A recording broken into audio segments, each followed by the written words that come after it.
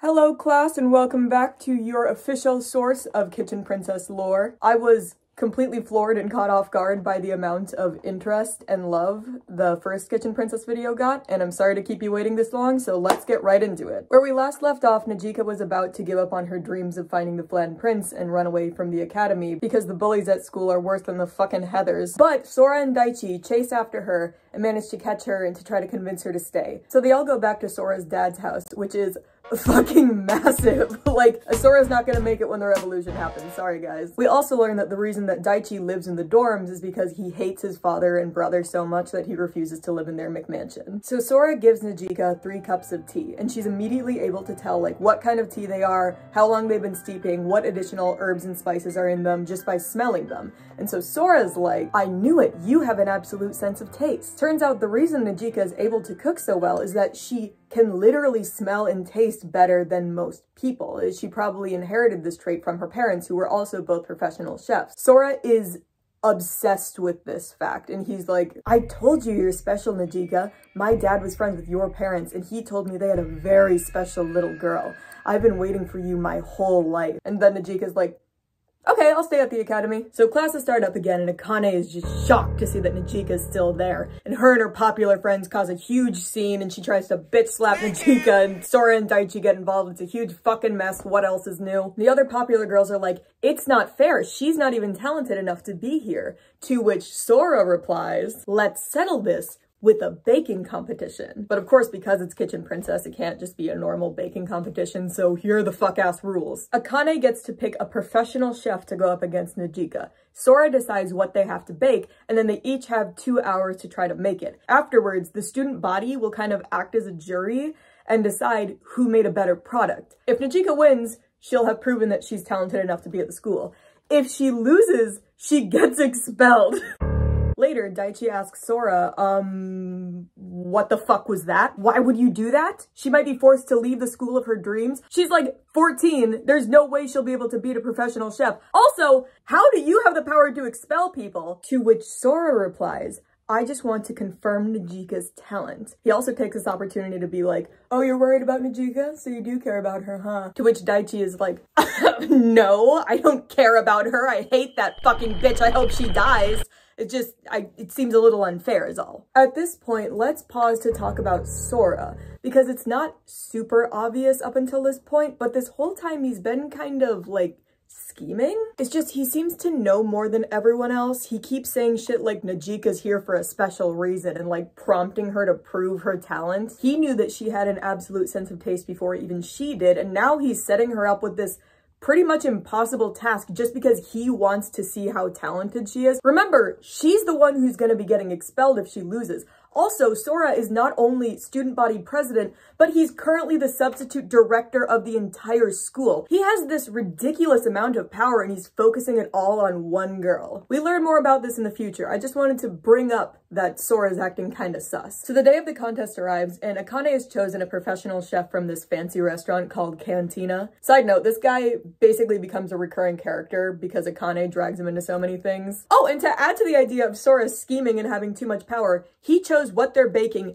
and he provided the only ingredients they're allowed to use. He's fucking 14, he's already power tripping. Anyway, Sora reveals that the food they'll be baking is, get this, a signature strawberry shortcake from Cantina. So Najika's fucked, right? She's competing against an adult who has made this exact cake countless times. There's no possible way she'll win. That is until they look at the ingredients that Sora provided. It's cheap shit. It's like dollar store flour and store brand butter, you know? Mr. Cantina's like, I can't work with this. I only use the highest quality ingredients. Meanwhile, Najika's already getting into it whisking eggs. Pollyanna's back, baby! But then, of course, halfway through the competition, Akane accidentally knocks Najika's bowl off the table, so she's gonna have to start all over. And Najika's like, oh, fuck! I don't have enough time to start over. I'm gonna get expelled by the court of public opinion. That is unless a certain brooding dark-haired teenage boy jumps in to help her. That's right, our favorite tsundere Daichi jumps in and helps Najika finish, and surprise, surprise, she wins. All the students agree that Najika's cake was better. Even Mr. Cantina is like, I lost fair and square. She made the better cake. I can't work with these cheap ingredients. After this, business picks way up at the Fujita diner and most of the students stop bullying Najika. Wow, this is great. I sure hope this isn't followed by the worst plot arc in the whole series. Now we're at the part I didn't want to talk about. Basically, the rest of the plot of book two is about Akane struggling with an eating disorder, and it is the worst example of the writer's poor handling of serious topics. Basically, Akane is a model, and so she has an eating disorder, so she's able to stay skinny. Okay, I want to get this shit over with, so I'm going to summarize the rest of book two right now. Najika notices that Akane has an eating disorder, and so she cures it with the power of friendship by baking for her. And we're leaving it there. That's all I'm gonna say about it. On to book three.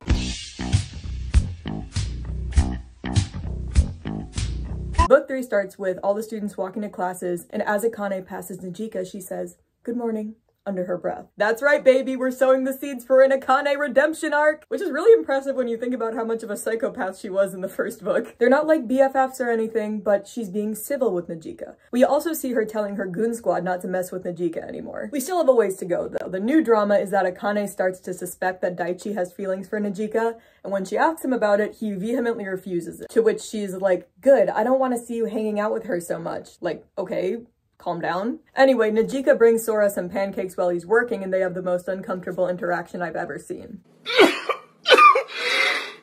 She uses this as an opportunity to get more into his business and asks why he and Daichi hate each other so much. Sora opens up to her and reveals that after their mother died, their father remarried. Sora was okay with their stepmom, but Daichi was furious and saw this as a betrayal and never forgave his dad or his brother. At one point, Sora affectionately puts his head on Najika's shoulders, but this gets seen by one of the popular bozos who gets all in a huff about it because she has a crush on Sora. She's like, Akane, we need to kill her! And Akane's like, whoa, whoa, whoa, I'm getting gradual character development, remember? I'm not fucking with Najika anymore. So then this kid whose name I don't even know is like, damn it, what am I gonna do? And I swear to God, she has this like eureka moment where she's like, Wait a second, my dad's a member of the school board. I'll use nepotism to hurt those less fortunate than me. So the next day when Najika goes to the Fujita diner, she sees that it's closed. Turns out it's on school grounds or something, and the school board doesn't like that it's run by a degenerate bum and a teenage girl who's breaking child labor laws. You know, when you look at it like that, it actually makes sense why it should be shut down. of course, Mr. Fujita doesn't care. He's like, what's the point of getting upset? It's hopeless. There is literally no possible way to save the diner, so give up. So Najika's devastated because she loves this job and Daichi's like, Sora, do something. You're the fucking director of the school. But it turns out it was a unanimous decision by the rest of the board, so there's nothing he can do. We might as well stop reading now because all hope is truly lost. Hey, huh? Uh, Akane? They're having a PTA board meeting tomorrow and they're ordering catering from a nice restaurant. Why don't you make something too? Don't get me wrong, I'm not trying to help you or anything. What I'm saying is, it's too early to give up. it's fucking on now. So cut to the board meeting, all the adults are talking and they're like, yeah, so we're all in agreement that we're going to close down the Fujita diner and replace it with an evil parking lot so I don't remember what they were gonna do with it. I don't care. And while they're talking, they're eating these treats that got catered to them and they're like, oh, these are delicious, even better than their usual cooking. I'm sure there's no surprises in store for us. What? Boom, bitch comes in with the catering and she's like, here's the food you ordered. And they're like, but if that's the food we ordered, then who cooked the food we've been eating? And Sora's at the door like, hey guys, look outside. You might want to see this. All the students are having a massive picnic enjoying the Fujita Diner's food. Najika greets the school board and reveals that in fact twas she who made the catering. She expresses to the board how special the Fujita Diner is to her and begs them not to close it down. One of them is like, okay, you're a great cook and this food makes people very happy, but that doesn't erase the legal issue here. A child can't run a business by herself. There has to be a capable adult involved. Are you talking about me? Huh? Fujita showed up and he's pretending to be a functional adult to save the diner for Najika. He even flexes that before he lost all his motivation, he used to be a real professional chef working at a three-star restaurant in Paris. Bing, bang, boom, the diner stays open.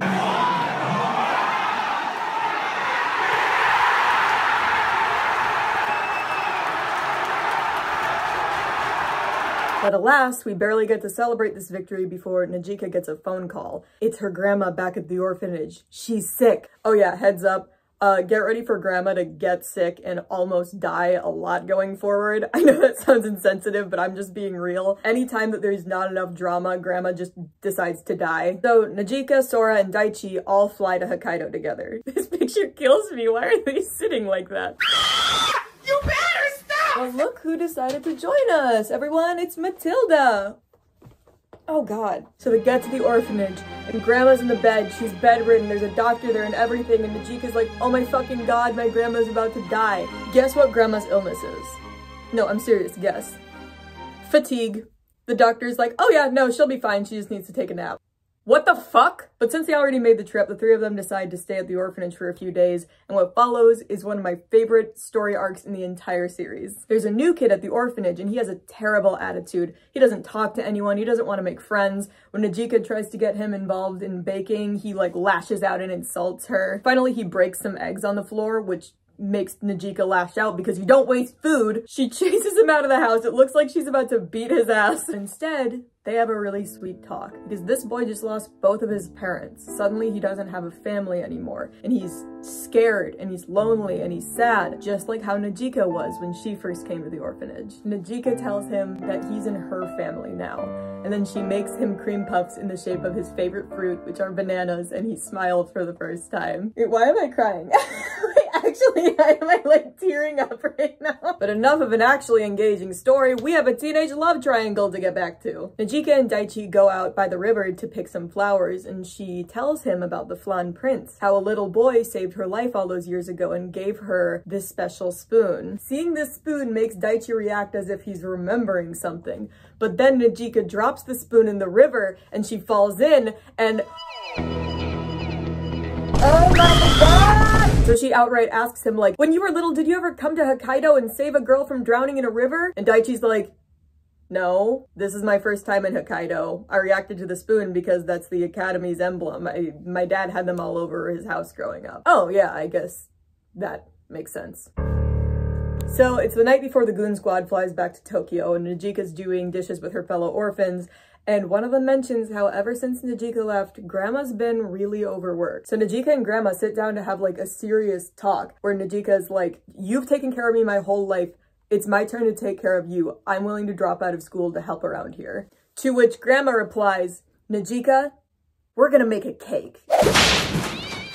Course, it always has to involve cooking somehow. We can't just use our words. So grandma and all the other orphans bake a cake together for Najika to prove that they can take care of themselves. What I'm wondering is like, if grandma's working so hard, why can't the other orphans help? Like, what are their bum asses doing? Okay, so a little more happens after this point in book three, but I'm gonna stop here because what follows is confusing love triangle shit that ends in kind of a cliffhanger. I think it'll be less confusing if I cover that all at once in the next video rather than breaking it up, at least for me. I'm really thirsty, but I spilled my teacup, so let's see how this goes. It worked! I can do anything! So thank you so much for watching. Thank you so much for taking the time out of your day to listen to me talk about this. Um, it really makes me so happy that so many people got enjoyment out of a niche topic that I love so much. It means the world to me. So more stuff coming eventually. Subscribe if you want to, don't if you don't, and I'll see you next whenever I upload. Bye.